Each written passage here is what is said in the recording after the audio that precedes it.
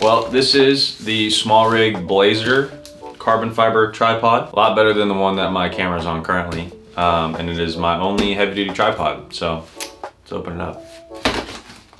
Comes in a case. It's pretty nice. Pretty nice case. Oh, I wonder what it could be.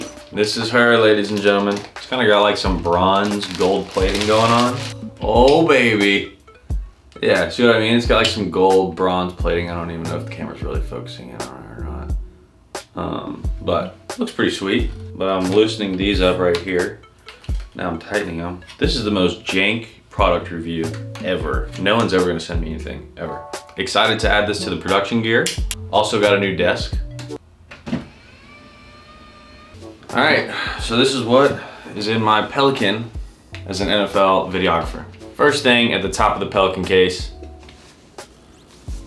my knee pads. So obviously they got grass stains. Um, can't get them out because I don't really know if it's grass stained or if it's like the green paint from the field. Don't know, but yeah, these have been super helpful. This is my favorite lens to shoot sports with. It is the Sony 100 to 400. Um, it's a variable f-stop at 4.5 to 5.6, um, but it's pretty nice because even when you're at the 400 millimeter length, um, you still get that nice, you know, background blur, bokeh, whatever you want to call it. So yeah, this is my go-to lens um, for really any game day. I also really like this lens because the focus pull is a lot longer. Um, so all of my shots are tend to be more smooth when it comes to pulling focus. And yeah, this one's pretty much a staple in my bag. My next lens in my Pelican is none other than the 70-200 2.8. Um, this is the Mark 1 version. Um, I've heard people raving about the Mark 2, so I'd love to get that a shot. But um, this one was my first lens ever, other than my kit lens. I mean, this one's done me very well throughout the years. I think I've had this one for about three or four years now. 7200 2.8 Mark 1.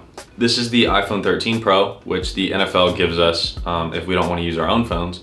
And I personally own the iPhone XR, so I need to catch up a little bit. Love this one because it has the three times zoom as well as the 0.5. Um, so it's just, you know, really good to get three times zoom when you're on the field um, instead of just the regular. If you don't already know, I feel like a lot of creators have been talking about this as of recent, but I'm gonna go ahead and reiterate it. Um, this is probably one of the best tools that you can get. I don't know if it's gonna focus on my hand or not. This is one of the best tools that you can get, um, especially if you're a fast-paced content creator, on-the-go kind of person. This is a lightning to SD card cable. Um, so what you're gonna do is, you know, when you're on the go, when you're shooting, you can put your SD card in it and then you can plug it into your phone and then all your content's there.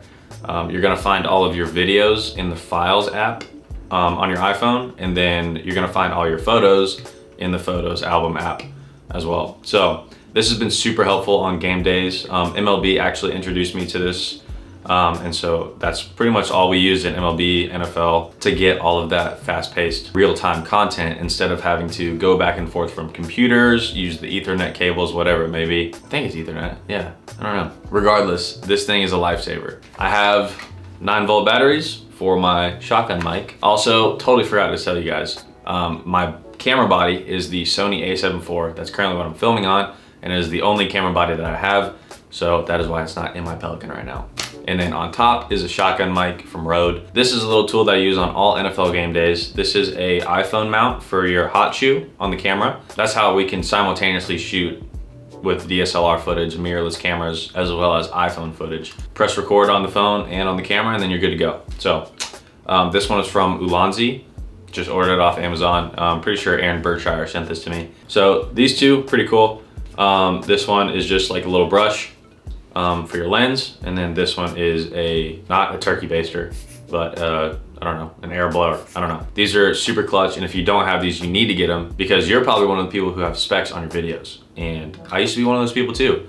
And then I always wondered, how do I fix it? All you gotta do is get a little air blower. This was in here from the wild card game where the Bucs and the Eagles played. Um, I got, that was probably my best game of the year, um, footage wise. I got Chris Godwin's crazy touchdown.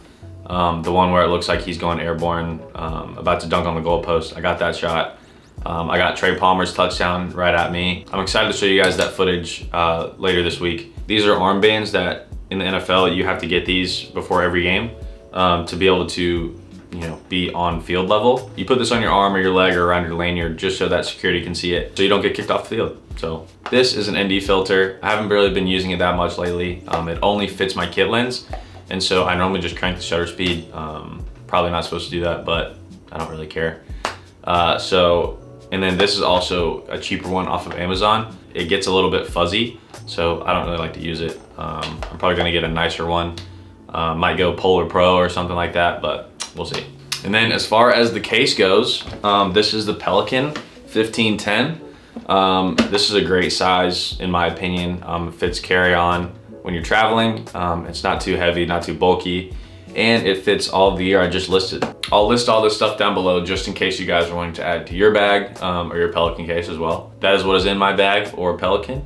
And uh, yeah, so that is pretty much all I use on the daily. And then until then, I'll catch you guys in the next one. Peace.